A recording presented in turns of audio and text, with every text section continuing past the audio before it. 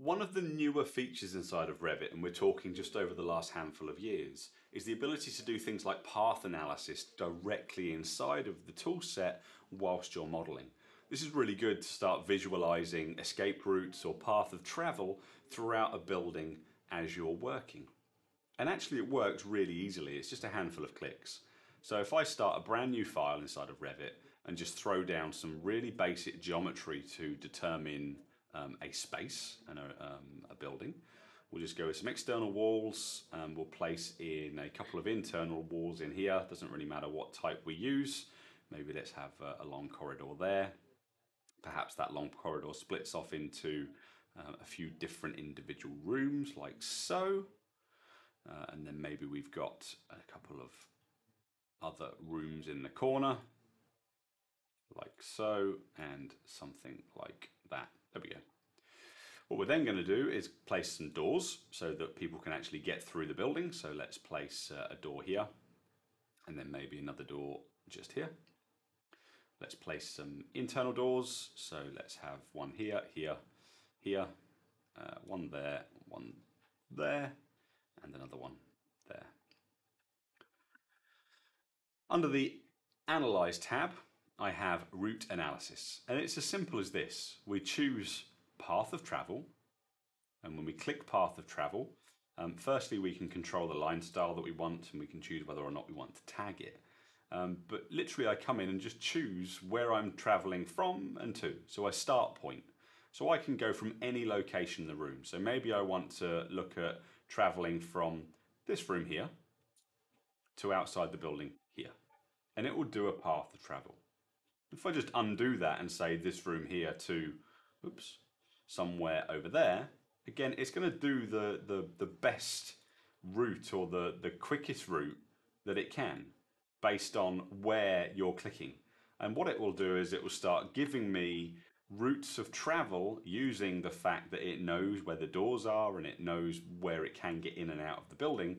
It's going to start determining um, those travel paths for you. Each one of those paths can be selected and you can start drilling down into the length of the pass, um, the time and the speed, and you can start to get an appreciation of how long it should take a typical person to um, either escape from the building or, or go from A to B. And obviously all of that is customizable and tweakable for different configurations or, or different types of abilities as you may or may not need to. Once you've got those um, those paths, you can start looking at or interrogating things. So I can say, well, show me all of the different obstacles, and it will start highlighting the obstacles that we have around the building. And as I start um, adding more information in, for example, if I um, draw in another wall just here, or if I place in a component just, oops, place in another component just here, if I grab our um, any one of these lines, I can basically hit update. And what Revit will do is it will look at the new information it has and it will update those components or those paths based on that new information because it now knows that it has more obstacles around the building. And again, that's a live, consistently updating thing.